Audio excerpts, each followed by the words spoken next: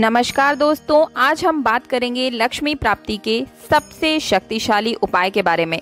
वैसे तो आपको YouTube पर कई सारे हज़ारों वीडियोस मिल जाएँगे, जिसमें आपको धन प्राप्ति, लक्ष्मी प्राप्ति के बारे में उपाय बताए गए होंगे। लेकिन आज का ये जो उपाय है, वो मैं आप सभी के लिए बहुत ही गहन अध्ययन के बाद लाई हूँ। तो आप इसे बहुत ही अच्छे से समझ लें। 21 दिन तक आपको इस उपाय को करना होगा नियमित रूप से, लेकिन आपको तीन दिन के अंदर ही इसका असर दिखना शुरू हो जाएगा। बहुत ही ध्यान से सुनिएगा, क्योंकि हज़ारों रुपए खर्च करने के बावजूद कोई पंडित आपको ये उपाय आज तक नहीं बताया होगा। तो ध्यान से सुनिएगा, सबसे पहले आपको सुबह में जल्दी उठना है। उठ कर के आप स्नान आदि कर लें और उसके बाद आपको एक कटोरी में मीठा दूध लेना है। मीठा दूध मतलब कच्चे दूध में आप मिश्री, शहद या फिर शक्कर, इन तीनों में से कुछ भी थोड़ा सा मिला लीजिए। अब कई लोग पूछेंगे कि क्या हम पका हुआ दूध ले सकते हैं? तो जी नहीं, किसी भी पूजा पाठ में हमेशा कच्चे दूध का ही प्रयोग किया जाता है, पके हुए दूध का नहीं। तो आप कटोरी में कोई भी मीठा दूध ले लीजिए, कुछ भी मिला दीजिए, तीनों चीज़ बता दी है मैंने, मिश्री या शहद या फिर शक्कर, और उस कटोरी को लेकर के आप पहुँच जाइए पीपल के वृक्ष के नीचे। और पीपल के वृक्ष में जाकर के आपको इस मीठे दूध को अर्पित करना है। और भगवान पीपल देव से प्रार्थना करें कि हे पीपल देव, मेरी जो समस्या है, उसका समाधान करें। मैं जितनी मेहनत करता हूँ, उसके हिसाब से मुझे धन प्राप्ति नहीं हो पाती है। ऐसा हो जाता है कि महीने के लास्ट में मुझे कर्जा लेना पड़ जाता है। तो मेरी समस्या का आप समाधान करें।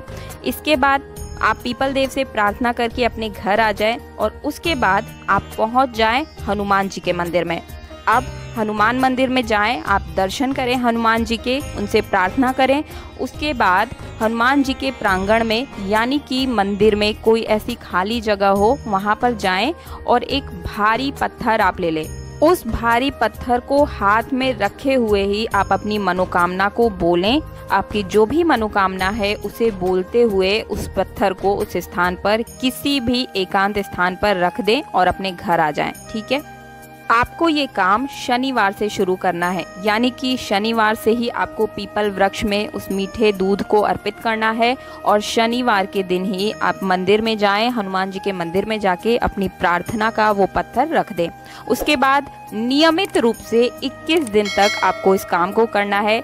यानी कि पत्थर आपको सिर्फ़ एक दिन रखना है पहले दिन, लेकिन आपको हनुमान जी के दर्शन 21 दिन तक नियमित रूप से करना है और पीपल देव को जो मीठा दूध है, वो भी आपको नियमित रूप से 21 दिन तक चढ़ाना है। और 21 दिन तो छोड़िए, तीन दिन के अंदर आपको उसका रिज़ल्ट दिखना शुरू हो जाएगा।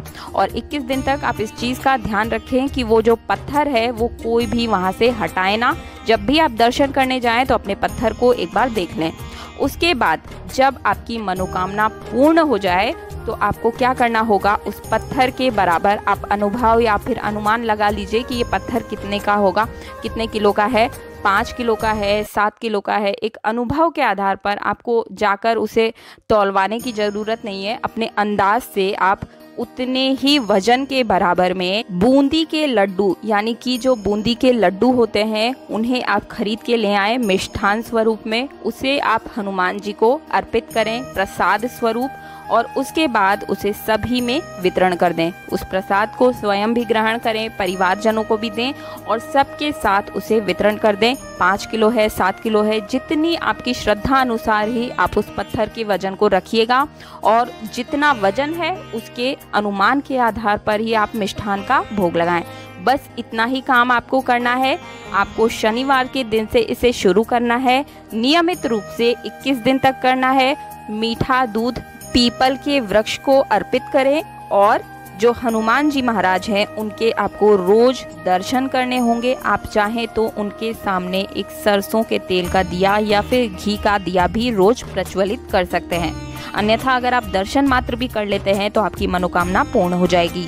दोस्तों, मेरे कहने पर एक बार आप इस उपाय को अवश्य करें, क्योंकि ये बहुत ही ज़्यादा असरदार उपाय है। मेरी आपसे प्रार्थना है कि उसे आप अवश्य करें। आपकी तीन से सात दिन के अंदर मनोकामना पूर्ण होगी। मेरी स्वयं हुई है। मेरी जो भी मनोकामना थी, वो मैंने पूर्ण की हुई है। इसीलिए मैं आपको उसी आधार पर कह रही हूँ, क्योंकि कोई भी चीज़ अगर मैं आप सभी के लिए लेकर आती हूँ तो पहले स्वयं उसे करके देखती हूँ। उसके बाद ही मैं आप सभी के सामने उसे प्रस्तुत करती हूँ। यकीन मानिए दोस्तों, आपके धन प्राप्ति के जो भी मार्ग बंद हो चुके हैं, वो खुल जाएँगे। बंद ताले की चाबी के समान है, ये एक कुंजी है। अगर आपके हाथ लग गई है, आपका कोई भी काम बन गया है तो दूसरे किसी मनोकामना के लिए भी आप इस उपाय को काम में ले सकते हैं और इस उपाय को अपने परिजन के साथ शेयर ज़रूर कीजिएगा ताकि हर कोई इसका पूर्ण रूप से लाभ प्राप्त कर सके। अगर आपको हमारी वीडियो पसंद आई है तो वीडियो को लाइक कर दीजिए। चैनल पर पहली बार है तो चैनल को सब्सक्राइब अवश्य कीजिएगा। माँ लक्ष्मी को प्रसन्न करने का सबसे आसान उपाय है ये। मिलते हैं अगले वीडियो में। जय श्री राम जय हनुमान सीताराम राधे श्याम।